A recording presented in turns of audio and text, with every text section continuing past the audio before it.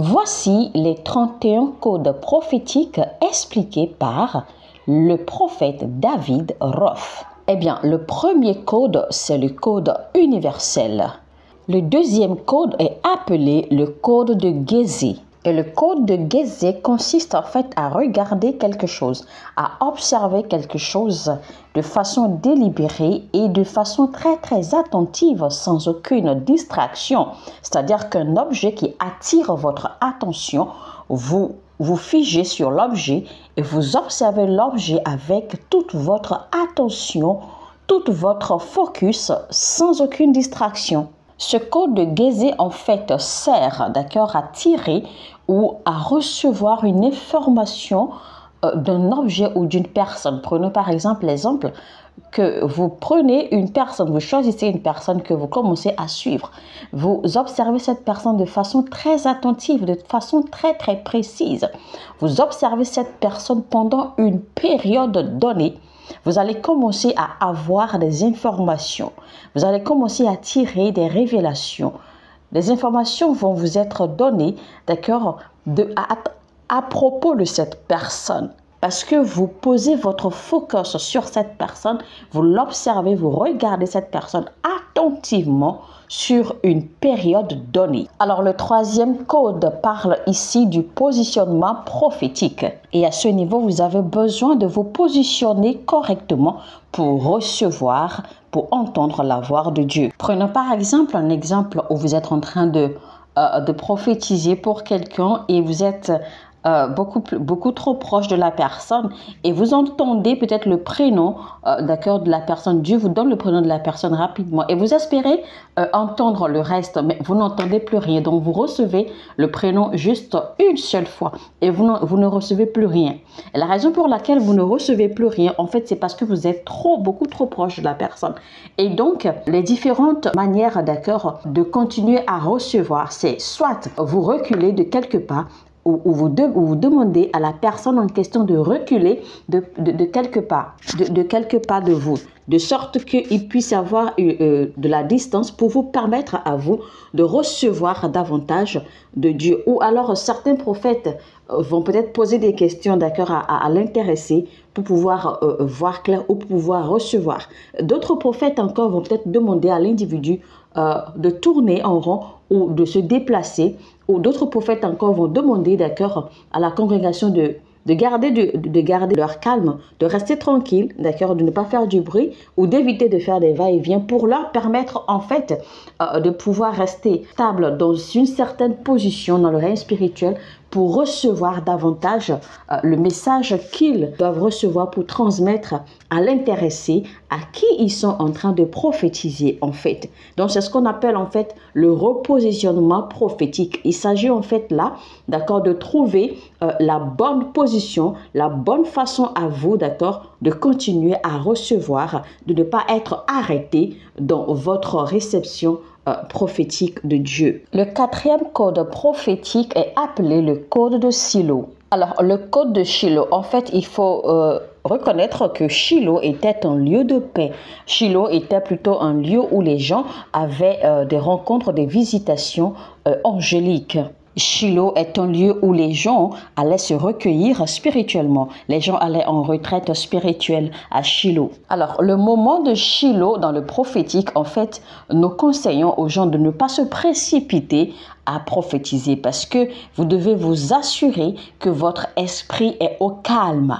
Vous devez vous rassurer que votre esprit est en paix, qu'il y a du calme en vous qu'il y a de la tranquillité, qu'il y a une atmosphère de sérénité autour de vous et à l'intérieur de vous. Assurez-vous que vous ressentez de la paix, que vous êtes tranquille, que votre esprit n'est pas agité, que votre esprit ne fait pas des va-et-vient. Assurez-vous de cela avant de vous mettre à prophétiser. Alors, le cinquième code prophétique, c'est le code de Job, qui constitue en fait à confesser son appel.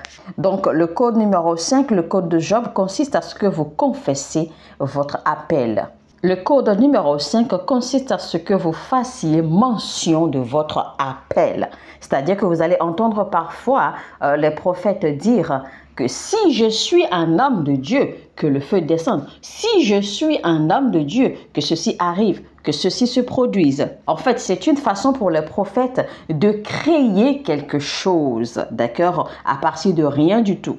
Et quand un homme de Dieu dit, si je suis un homme de Dieu, que ceci arrive et que vous voyez la chose se produire, en fait, cette chose, en fait, n'est pas venue de Dieu, mais cette chose a été créée, d'accord, par le prophète. Et c'est pour cela que cette chose apparaît immédiatement. Donc, le prophète utilise, en fait, son onction et euh, ton influence liée à son appel euh, divin pour créer cette chose, pour créer cette atmosphère, ou créer le miracle, ou créer ce qu'il a déclaré. Qu'il vous souvienne quand il y avait la famine en Samarie et que le prophète Élisée avait, avait prophétisé, il a dit que d'ici demain, il aura de l'abondance. En fait, cette abondance n'est pas venue de Dieu. Cette abondance, en fait, a été créée par le prophète.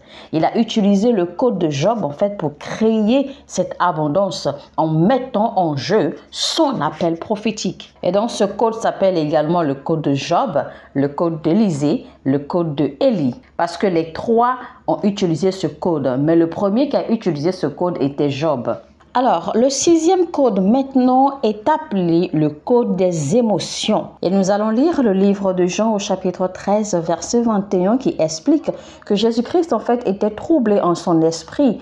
Et par ce trouble, en fait, il a été expressément transporté dans un règne prophétique et il a dit, en vérité, en vérité, je vous le dis, l'un de vous me livrera. Donc Jésus-Christ, sous le coup de ses émotions à ce moment-là, parce qu'il était troublé, il a prophétisé. Alors, le code 6, le code des émotions, en fait, c'est le moment où nous, les prophètes, nous partons de nos émotions pour faire des déclarations prophétiques. À des moments donnés, euh, nous, les prophètes, quand nous prophétisons, subitement, vous pouvez ressentir que vous êtes triste.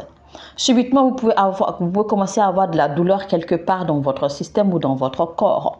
En réalité, à ce moment-là, ce n'est pas votre douleur, ce n'est pas votre tristesse, c'est la douleur de quelqu'un d'autre. C'est la tristesse de quelqu'un d'autre que vous recevez immédiatement sur vous durant les moments de durant les moments prophétiques. Et cette douleur ou ce sentiment ou cette émotion que vous ressentez à ce moment-là, cela veut simplement indiquer que quelqu'un est en train euh, de passer par cela et donc vous devez euh, euh, prophétiquement, d'accord, adresser, régler ce problème. Alors, durant les moments prophétiques, il faut aussi avoir du discernement et apprendre à reconnaître ces émotions quand vous commencez à les ressentir. Quand soudainement, pendant les moments prophétiques, vous commencez à ressentir de la tristesse ou quelque chose, sachez que Dieu est en train de passer un message. Le septième code prophétique, c'est le code des dons le code des offrandes. Je ne sais pas pourquoi quand on prêche les offrandes, l'acte de donner à l'église ou même hors de l'église, les gens sont en colère, les gens se fâchent, les gens n'aiment pas cela. Alors en tant que prophète, le code des offrandes est également euh, un code, d'accord, que vous devez savoir utiliser. Et nous allons lire un verset, acte 10, au verset 31 qui dit Corneille, ta prière a été exaucée et Dieu s'est souvenu de tes aumônes. Ça veut dire que vous devez donner, vous devez offrir, vous devez faire des dons jusqu'à ce que Dieu soit euh, jusqu'à ce que vos dons, vos offrandes soient agréables à Dieu et, jusqu'à ce que Dieu se souvienne de vos aumônes. Et apprenez également à donner de façon euh, constante. Ne donnez pas aujourd'hui et euh, baissez les bras demain. Apprenez à donner de façon constante. Maintenant, savez-vous que nous utilisons le code des dons également pour prophétiser? Parfois, nous utilisons les dons pour entrer dans le prophétique ou parfois nous utilisons les dons, d'accord, pour aiguiser euh, notre antenne prophétique lors des sections prophétiques, par exemple. Et c'est également une méthode prophétique que nous utilisons pour pouvoir entrer dans le règne prophétique et être également stable dans le règne prophétique. Donc, apprenez, d'accord, à faire cela. N'ignorez pas ce code du tout. Même si c'est petit, trouvez quelqu'un et faites-lui un don. Alors, le huitième code prophétique, en fait, c'est euh, au niveau prophétique où nous voyageons, d'accord, dans le temps nous voyageons euh, dans le passé des gens, nous, nous voyageons dans, le futur des gens, nous, nous restons d'accord dans le présent. En fait, c'est le code que nous utilisons en fait pour parcourir le temps, pour voir des événements afin de, afin de de décrire proprement, d'accord, l'histoire de quelqu'un pendant que nous sommes en train de prophétiser sur la personne. C'est le code que nous utilisons pour pouvoir voir les problèmes ou la source, d'accord, des problèmes et également voir la solution qui doit être préconisée pour cela et tout. Et c'est le code également, c'est là où nous parlons, d'accord, du sein d'Abraham et de tout ce qui l'entoure. Le code numéro 9, eh bien, c'est le code du discernement. Nous allons lire Job 33, verset 14, qui dit Dieu parle cependant, tantôt d'une manière, tantôt d'une autre, et l'on n'y prend point garde. Ça veut dire que Dieu parle toujours, mais nous ne prêtons pas garde à ce qu'il dit. Nous ne comprenons pas ce qu'il dit. Et c'est cela qu'on appelle en fait le discernement. Le dixième code prophétique, eh bien, c'est le, code universel, encore une fois. Alors, nous allons revenir sur le code euh, numéro 10 pour mieux l'expliquer, mais en attendant, nous allons évoluer rapidement vers les autres codes. Alors, le onzième code, en fait, c'est le code de la bonne volonté et de l'obéissance. Et nous allons lire Isaïe 1, verset 19. Si vous avez de la bonne volonté et si vous êtes docile, vous mangerez les meilleures productions du pays. Vous savez, en début de cette année, au mois de janvier, Dieu m'a donné cette parole. Il m'a donné ce verset de façon précise. Il m'a dit, si tu es obéissant et que tu as et que tu es docile à mes instructions et à ma parole, tu mangeras les meilleures productions du pays dans lequel tu es. Et je savais que c'était une parole personnelle pour moi et je l'ai saisie. Donc c'est pour vous dire que si vous êtes euh, euh, docile et que vous êtes obéissant à Dieu, eh bien vous mangerez des meilleures productions du pays dans lequel vous êtes. Je vous montrerai bien après. Je vous expliquerai comment utiliser le code de la bonne volonté et de l'obéissance dans le prophétique. Nous allons lire Ésaïe 7, verset 14 qui dit c'est pourquoi le Seigneur lui-même vous donnera un signe. Voici, la jeune fille deviendra enceinte, elle enfantera un fils, et elle lui donnera le nom d'Emmanuel. Le code numéro 12, eh bien, c'est le code des signes. Et c'est pour cela que nous avons utilisé ce verset, Ésaïe 7, verset 14. Eh bien, au niveau de ce code, c'est que nous utilisons des signes pour faire les prophéties. Le treizième code prophétique, eh bien, c'est le code de la loi et des témoignages. Eh bien, dans le message d'aujourd'hui, nous allons euh, seulement citer 20 euh, codes prophétiques et nous allons revenir sur l'explication du code universel c'est-à-dire du code prophétique universel. Alors, le code de la loi et des témoignages, en fait, est un code très, très, très dangereux et un code très délicat auquel il faut faire vraiment beaucoup attention parce que c'est un code euh, qui dénote euh, de l'esprit de la connaissance et de l'esprit de la sagesse. Et en utilisant ce code, vous devez utiliser la parole de Dieu pour prophétiser. Donc, dans ce code 13, eh bien, vous utilisez, vous appuyez sur les promesses, sur les déclarations de la parole de Dieu, c'est-à-dire vous vous appuyez sur les choses que Dieu, les, sur les paroles que Dieu a dites, les promesses que Dieu a dites, et vous les utilisez pour prophétiser. Vous vous appuyez sur les paroles, vous vous basez sur les paroles pour prophétiser sur la vie de quelqu'un. Alors, voici un peu, d'accord, ce qui se passe lors de la manifestation du code numéro 13, c'est-à-dire euh, du code des lois et des témoignages, le, code dans lequel nous utilisons euh, la parole de Dieu, d'accord, les versets bibliques pour prophétiser. Alors voici, en fait, il faut savoir que euh, parfois les communications euh, des anges, d'accord, la façon dont Dieu communique, vous communique les messages, en fait, ne viennent pas de façon directe. Parfois, Dieu peut utiliser, d'accord, des portions de versets bibliques ou alors des mots qui se trouvent dans des versets bibliques pour vous orienter, d'accord, à, avoir à recevoir une information concernant une personne. Dieu, par exemple, en fait, au lieu de vous donner, par exemple, le nom de quelqu'un, par exemple, la personne s'appelle Matthieu ou la personne s'appelle, par exemple, Paul, eh bien, Dieu pourrait ne pas vous dire directement le nom de cette personne, Matthieu ou Paul. Mais Dieu pourrait, par exemple, en fait, vous C'est-à-dire que orientez votre esprit dans un verset biblique pour que de ce verset, en fait, vous piquez le nom de la personne ou pour, ou pour que du verset que, du verset que Dieu euh, vous dirige, en fait, pour que vous puissiez piquer une information de ce verset-là. Et en tant que prophète, vous devez être très très intelligent et être également en alerte parce que quand l'ange vous communique des messages euh, par des codes en utilisant les versets bibliques comme ça, eh bien premièrement, vous devez déjà avoir la notion, la connaissance de la parole de Dieu. Vous devez être intelligent, vous devez être assez sage et vous devez être également en alerte et rapide à capter le message pour ne pas perdre du temps et pour ne pas également vous perdre dans la communication de l'ange euh, à vous euh, euh, pour vous donner des informations concernant une personne pendant que vous êtes en train de prophétiser. Donc c'est très très important.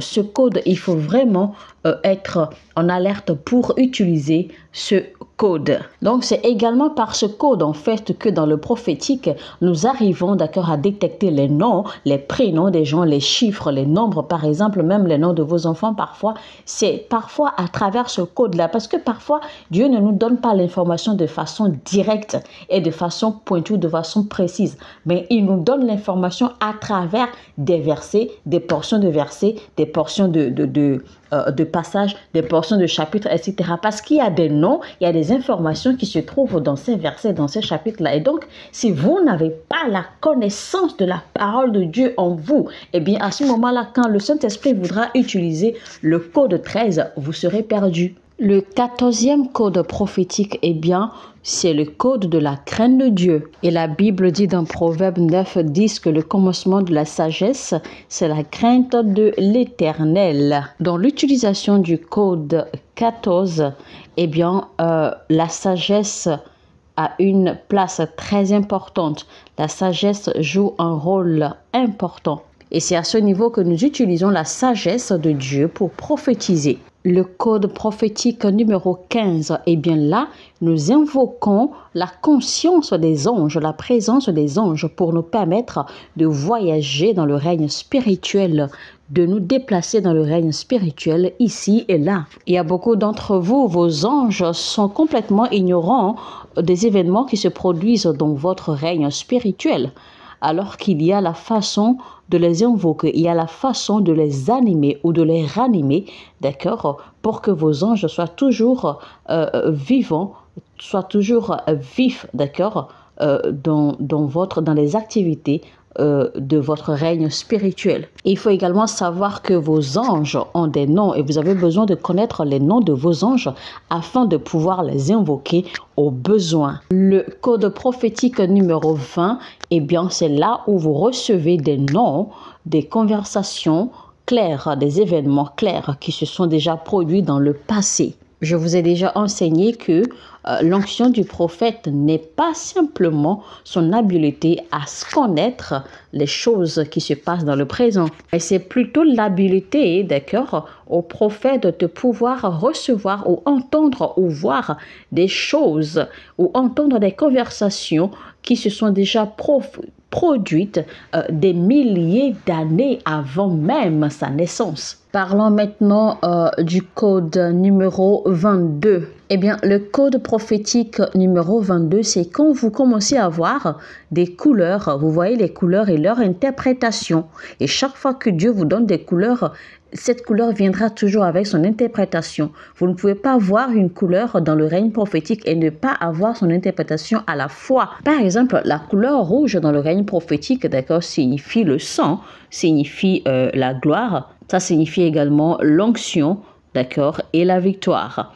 La couleur or, par exemple, signifie tout ce qui a de la valeur. Si vous voyez la couleur bleue, par exemple, elle représente la guérison ou quelque chose de lourd. Quand vous voyez la couleur verte, par exemple, elle signifie la richesse, l'immortalité. Et quand vous voyez la couleur orange, elle représente le feu ou la délivrance. Et quand vous voyez par exemple la couleur violette dans, le, la couleur violette dans le règne spirituel, cela signifie la royauté, l'office de prêtre ou quelque chose euh, qui, qui, est difficile à, à se produire. Et quand vous voyez la couleur noire, elle représente la mort, elle représente les ténèbres et elle représente également la souffrance. Quand vous voyez par exemple la couleur euh, brune, eh bien elle signifie la compassion, et l'acceptance. Et quand vous voyez la couleur blanche, eh bien, elle parle de la victoire. La joie et la justice, ou encore le blanc représente les anges. La couleur rose, par exemple, représente une bonne relation avec Dieu. La couleur du saphir représente la révélation. La couleur argent représente la pureté, la dignité et la parole de Dieu et la sainteté de Dieu. Maintenant, au code 31, le code prophétique 31, votre conscience est divisée en deux à ce moment-là à l'utilisation du code prophétique 31, eh bien, c'est là que euh, vous êtes comme divisé en deux. C'est-à-dire que vous êtes en deux endroits à la fois. Donc, une partie de vous se trouve quelque part dans l'univers de quelqu'un d'autre, alors que l'autre partie de vous se trouve encore présentement à l'intérieur de l'église en train de parler, en train de euh, en pleine activité. C'est là que vous voyez l'homme de Dieu, le prophète, vous dire, écoute, maintenant, maintenant je suis dans ton village, maintenant je suis dans tel pays, je suis maintenant ici, je suis en train de voir ceci, je suis en train de voir cela. Et eh bien là, c'est que vos deux êtres, en fait, communiquent au même moment parce que votre être euh, qui qui s'est transporté d'accord dans le règne spirituel dans un autre endroit voit les choses clairement et le communique à votre être qui est ici présentement. Et donc c'est comme ça que vous passez euh, le message, vous passez les choses que vous voyez, vous passez ce que vous voyez, ce que vous recevez en fait à l'instant T. Et vous savez, à ce moment-là, en fait, vous n'avez pas besoin des anges, d'accord, pour prophétiser, parce que là, vous ne fonctionnez pas avec les anges, mais, mais c'est plutôt une autre partie, une partie de vous qui s'est déplacée, et donc vous fonctionnez avec vous-même, mais divisé en deux. Mais attention, pour fonctionner dans ce code, d'accord, régulièrement, vous avez besoin de vous nourrir proprement aussi. Alléluia. Maintenant, si vous arrivez d'accord à demeurer euh, dans ce code 31, à fonctionner avec le code 31 régulièrement, je vous dis que le monde entier entendra parler de vous. Le monde entier vous connaîtra. Donc, comme j'ai dit, le code numéro 8, en fait, vous pouvez voyager dans le temps d'accord, dans le passé et dans le futur. Mais le code 31, c'est-à-dire que vous êtes là divisé et vous êtes dans plusieurs mondes à la fois pendant que vous êtes présent encore dans l'église. D'autres parties de vous, d'accord, se trouvent dans tel pays ou dans tel endroit et en, en pleine activité pendant que vous êtes également en pleine activité ici. C'est-à-dire que vous n'allez, vous ne voyagez pas seulement dans le règne spirituel pour voir et revenir, non. Mais vous êtes ici et vous voyez, vous êtes en fait divisé. Votre être est divisé d'accord, en, multiples. Maintenant, le code 40, c'est quand vous commencez à commander, c'est quand vous commandez aux anges, vous les envoyez en mission, vous les envoyez en travail ici et là. Pour revenir rapidement en arrière, le code 16, eh bien, c'est le code euh, des mémoires prophétiques. Le code numéro 17, eh bien, c'est le code des sensations corporelles. Le code 18, c'est le code des questions prophétiques. À ce moment-là, vous utilisez des questions, vous questionnez l'intéressé pour pouvoir en fait pénétrer de façon profonde dans le prophétique, dans son univers. Le code prophétique 19, eh bien, c'est le code des ombres. Maintenant, le code 21, d'accord, c'est le code des touchés. Qui m'a touché? Parce que j'ai senti de la puissance. Eh bien, mesdames et messieurs, c'était donc là les 31 codes prophétiques expliqués par le prophète David Roth.